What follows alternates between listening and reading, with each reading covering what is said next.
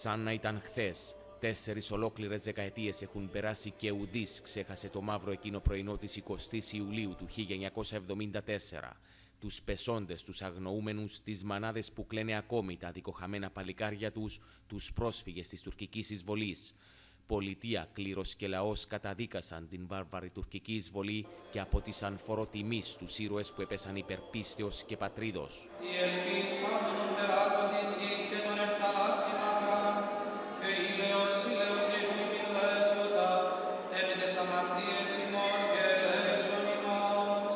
Στο μήνυμά του, ο Υπουργός Δικαιοσύνης Ιωνάς Νικολάου απίφθινε ευγνωμοσύνη και προσήκουσα τιμή σε αυτούς που υπερασπίστηκαν μέχρι εσχάτω στην πατρίδα και πότισαν με το αίμα τους το δέντρο της Κυπριακής Ελευθερίας. Αποδίωξαν από της γης των πατέρων ημών, εχθρούς και πολεμίους, τους καταδυναστεύοντας και εξουθενούντας των λαών σου και βεβαιούντας τους ναούς σου.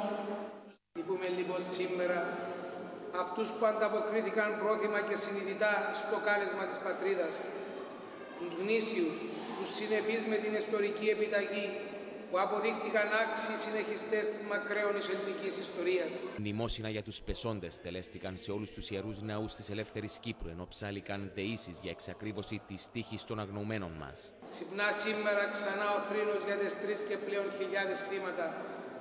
Τις εμψυχρό εκτελέσεις εχμαλώτων και αμάχων, τους βιασμούς ανηλίκων κοριτσιών και ηλικιωμένων γυναικών. Θυμόμαστε την αγωνία των συγγενών για τους 1619 αγνοούμενους. Τα βασανιστήρια των εχμαλώτων, το δράμα της επιστροφής τους από το Μουτρούμια των Αδάνων, 40 χρόνια και το ζήτημα παραμένει άλυτο με την κυπριακή τραγωδία να σκοτεινιάζει τα πρόσωπα όσων περιμένουν ακόμα τους αγνοούμενούς τους, γιατί κανένας δεν ξεχνά και τίποτα δεν ξεχνιέται.